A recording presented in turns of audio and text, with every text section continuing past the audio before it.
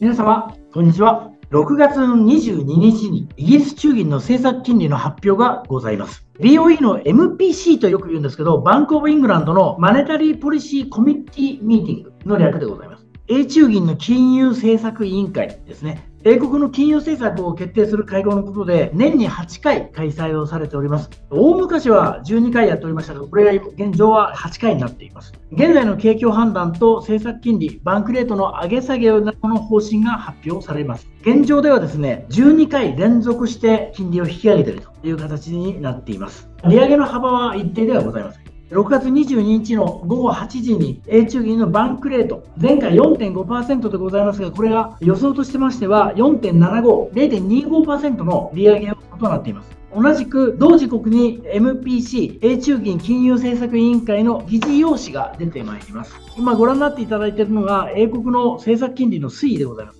迷子にスライドしているものというのは、その現状維持ということではなくて、その月に金利が変わっていないということを意味をしております。実際問題としては12回連続して金利が上がってきているといった状況です。前回5月11日の声明文でございますが、バンクレートの0.25%の利上げを7対2で決定。労働市場環境の逼迫や賃金上昇率、サービス価格インフレなど、持続的なインフレ圧力の兆候を引き続き注意深く監視をしていく。より持続的な圧力の証拠があれば、金融政策のさらなる引き締めが必要となるであろうということで、将来的な利上げに対する含みを持たせているということです。また、中期的にインフレ率を持続的に2%の目標に戻すために、必要に応じて銀行金利を調整するというようなコメント、声明が出ております。ただ、え現状のインフレ率と考えますと、ここで利上げが終わるわけではなく、やはり今回もマーケットとしましては、BOE の利上げを見込んでいるといった形になっています。BOE のこの発表の後ですね、ポンド円がどう動いたのか、2月、3月、5月で実際に見てみたいと思います。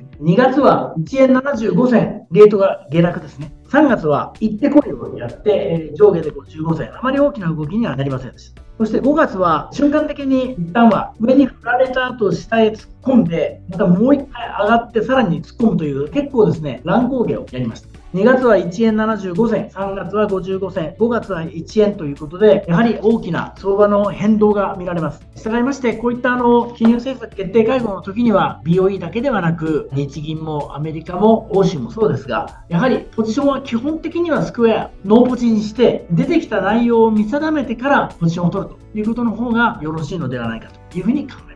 0.25%もうすでに織り込まれておりますが、もしかするとこれが0.25があと数回続くかもしれない。こちらの方のですね、声明文の中にそれのヒントをやはりマーケットは探してくるだろうなというふうに思います。従いまして、その BOE の声明もですね、それを読みこなして、まだ今後利上げが続くと、マーケットが見れば、やはり1回の利上げではなく、その分だけですね、ポンドを買う形になるでしょうし、ここで打ち止め感が出てくるようであれば、これが最後の利上げという形になるので、もしあれば、それは一瞬上がった後、激しく売られることも想定の中に入れておかなければいけません。やはりこの声明文、注意深く読んでいきたいと、そのように思います。最後までご覧いただきましてありがとうございました。これにて失礼いたします。